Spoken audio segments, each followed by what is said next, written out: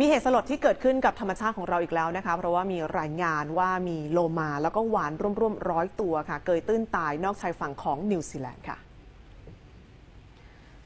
นี่เป็นภาพของกระทรวงการอนุรักษ์นิวซีแลนด์หรือว่า DOC ที่เผยแพร่ออกมานะคะ หลังจากที่ได้รับแจ้งว่าฝูงวาฬนำร่องและโลมาปากขวด เกยตื้นที่หมู่เกาะแชแทมในช่วงสุดสัปดาห์ที่ผ่านมาค่ะ แต่ว่าเจ้าหน้าที่ต้องเผชิญอุปสรรคในการเข้าไปช่วยเหลือพวกมัน เพราะว่าหมู่เกาะดังกล่าวตั้งอยู่ในพื้นที่ที่ห่างไกล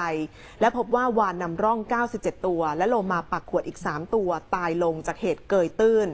เจ้าหน้าที่อุทยานด้านความหลากหลายทางชีวภาพของ DOC เปิดเผยนะคะว่ามีวานและโลมาเพียงแค่ 26 ตัวที่ยังมีชีวิต ปรากฏว่าส่วนใหญ่ก็อาการอ่อนแรงค่ะ แล้วก็ถูกการุญยฆาตในเวลาต่อมา เพราะว่าคลื่นลมแรงในทะเลที่เต็มไปด้วยฝูงฉลามขาวก็เลยไม่กล้าปล่อยพวกมันลงไปด้วยนะคะก่อนหน้านี้หมู่เกาะแชแทมเคยเกิดเหตุฝูงวาฬเกยตื้นหลายครั้งด้วยกัน มีครั้งหนึ่งที่ฝูงวาฬเกยตื้นตายถึงพันตัว ก็คือเมื่อย้อนไปเมื่อปี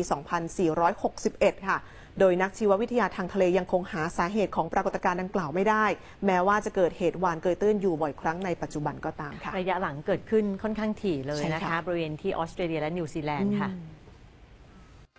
ขอบคุณที่ติดตาม TNN ช่อง 16 นะคะ อย่าลืมกด subscribe แล้วก็กดกระดิ่งกันด้วย ยังมีคลิปวิดีโออื่นที่น่าสนใจอีกเพียบเลยเลยค่ะ และถ้าหากว่าไม่อยากพลาดการติดตามรับชมแบบสดๆ นะคะ เข้าไปดูได้ที่แฟนเพจ TNN Live นะคะ รวมถึงยังสามารถติดตามช่องทางอื่นๆ ได้เข้าไปคลิกที่ลิงก์ที่ขึ้นใต้คลิปวิดีโอนี้กันได้นะคะ